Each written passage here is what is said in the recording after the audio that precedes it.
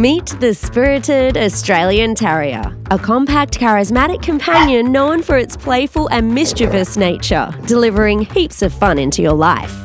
Australian Terriers love people and are fantastic family dogs who adore well behaved children. This high energy breed craves regular exercise and are born hunters, relishing activities like digging and chasing small creatures.